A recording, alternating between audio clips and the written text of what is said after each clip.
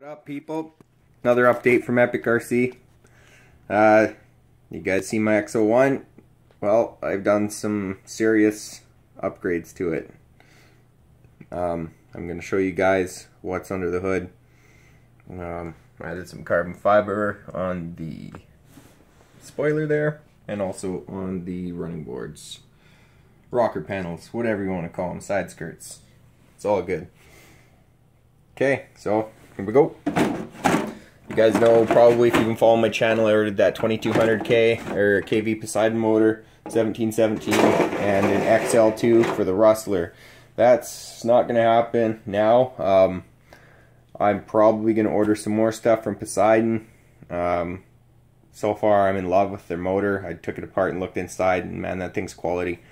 So really like it. I took it apart side by side the XO-1 motor and uh, you can see the difference in quality. Um, just the way the thing's wrapped inside and and the rotor and all that. It's just it screams quality.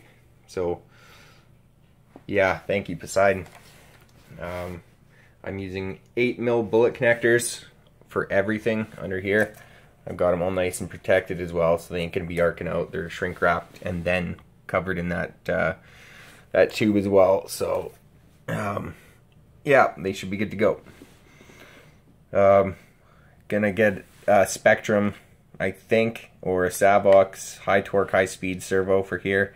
I put the uh, Spektrum in my buggy. Uh, if you guys want to check out my OFNA LX2 video, you'll see that servo I put in there. Um, seems to be awesome, and I've heard good things about it. So, not a huge fan of Spektrum's radio stuff, but um, we'll see how their servos go.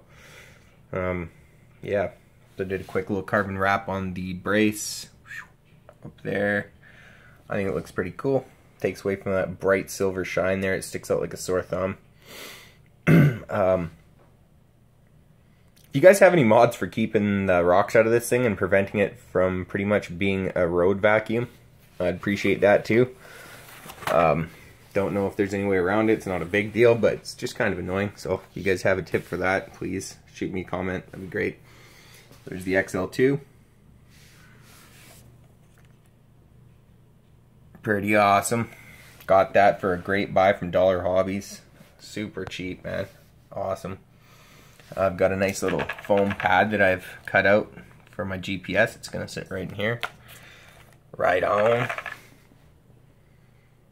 I know uh, MT Tookie's got a very similar setup, man. Uh, just sort of uh, fell together like this. It wasn't intentional, but um, like I said, this stuff was going to go in rusty, but um, I'm having some problems with the rear toe on my Rustler with the Jado arms. If any of you guys know of a bearing carrier with a 3.5 degree toe in that I can find, the only one I could find was for an XO-1, and that doesn't work with my axles. Um, pretty annoying. Um, so that's sort of on the side for now until I can fix that problem hopefully I can before spring.